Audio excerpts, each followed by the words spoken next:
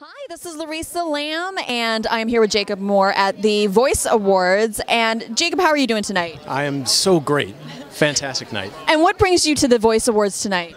Well, I'm one of the nominees tonight uh, for my work with an organization called NoStigmas, uh, which is a mental health support nonprofit.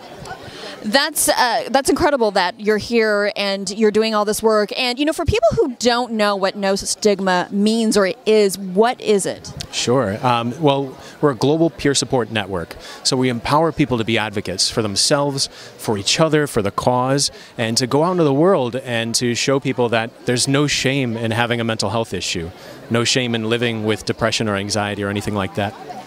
You know, we have a lot of um, viewers who are maybe going through something in life, and, and I know sometimes it seems like a small thing that can end up leading you into some bigger things. Right. What advice would you give to somebody who might be struggling with, with something difficult right now?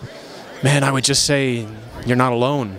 You know, there are people out there who've been there, who have know what it's like, and, and you know, don't give up keep going life is worth living and you know if if you don't find the answer that you're looking for right here walk another step.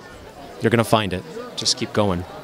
That's a that's some good advice. Now, where can people find out more about your organization? Sure, nostigmas.org. It's NoStigmas with an S because there's more than one, uh, or at NoStigmas on any of the social media platforms. That sounds great. Well, congratulations on your nomination and good luck tonight. Yeah, I appreciate it. Thanks for having me. Thank you.